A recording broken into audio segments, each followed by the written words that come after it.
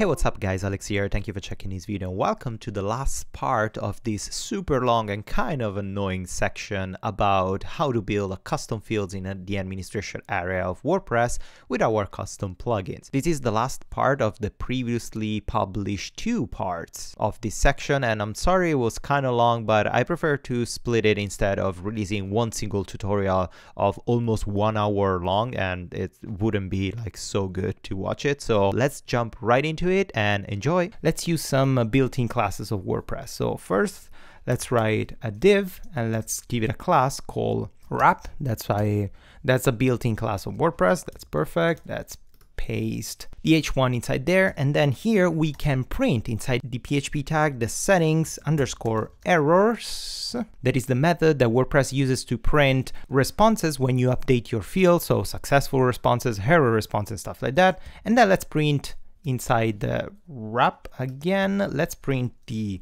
form that is necessary in order to update our custom fields. And the action of the form is options.php because we need to point every time we want to update our custom fields we need to point to the options.php is the the options.php is the built-in page of WordPress that handles all the updates, save, delete, and all this kind of stuff for our custom fields. And let's remember to specify the attribute method as post.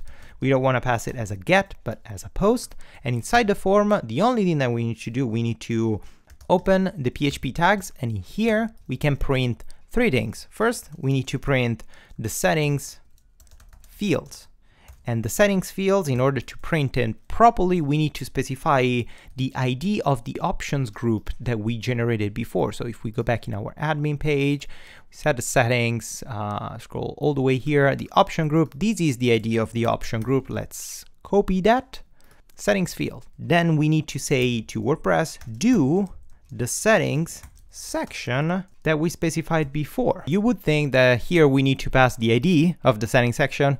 That's wrong. We need to pass the slug of the page where the settings section are applied to. That's super confusing. Another thing that's super confusing about this thing. So uh, let's go into our settings. We specify the page to be the Alecaddd plugin. So we need to pass the Alecaddd plugin.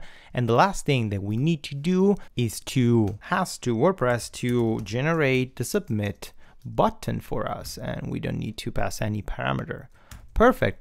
As you notice here, I'm not using any echo, print, return, nothing. These methods automatically print for us by passing this stuff. So let's save it. Let's go back in our administration area. Let's refresh. And we have an error. Uh, do settings sections doesn't exist. Oh, sorry. Do settings uh, sections, not section. Sorry. Let's refresh. There you go look what we have here. We have the settings, that is the same title of the settings that we generated. We have the description in our callback, check this beautiful section. Then we have the title, text example, that if we click, it's clickable and uh, attached to the label. And then we have our label with write something here. And then the button save changes. So if we write something and we save the changes, boom, we have the message thanks to the settings error method that we have, setting saved, and then we have the text example here. Beautiful. If we save changes again, we update the page, we refresh. What we have here, it's properly stored. Fantastic. So now you would ask probably like your question is that this is insane. This is so much, it's too long, it's just too complicated in order to use this thing. Yes, I know. That's how, unfortunately, WordPress handles the settings API. The settings API are the worst thing ever in WordPress, are really convoluted. That's why we generated this interface, because now, if I just want to create, for example, another uh, field, uh, called like first name inside this section. The only thing that I need to do is go inside my administration area and update the array of the settings and let's declare another array here. So let's put a comma, array, option group, the same. I need to maintain the same op option group. The option name is gonna be like first, first name, and I don't wanna pass any callback so I can leave it completely empty. And then I wanna update the fields. So the fields, it's gonna be this instead of text example, I can update it to first name. And here this is Alecaddd first name. Alecaddd plugin. Let's maintain everything else labeled for first name, first name, and the title is gonna be first name. And then I wanna just update the callback instead of Alecaddd text example, I want Alecaddd first name because it's basically identical to it. But of course, instead of passing these, I'm gonna check the first name. Here as a placeholder, I'm gonna say, hey, write your first name.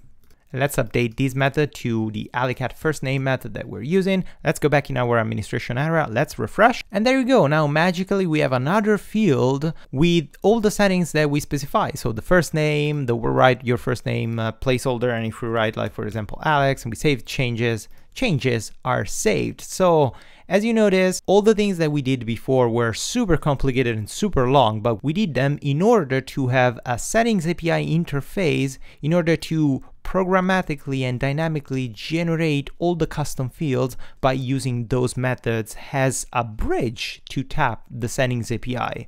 And as you just saw, in order to add more settings, in this case, I'm just adding input, input fields, but we can add checkboxes, drop downs, whatever you want with the callback function, you can manage all of that. In order to add this thing, I just extended the array in the option in the settings and extended the array in the fields to declare a new field. I didn't have to touch anything in the admin.php template because everything gets printed automatically by the settings field and do settings section of WordPress. So this is really good. So it's pretty much it for today's lesson. I hope you enjoyed. If you did, please give it a thumbs up or subscribe to my channel. And if you want, you can spend a couple of minutes on the support me page on my website where you can find all different ways and methods to support me, support my channel, and help me to do better videos and better tutorials for you. Thank you again guys, and until the next lesson, as usual, happy coding!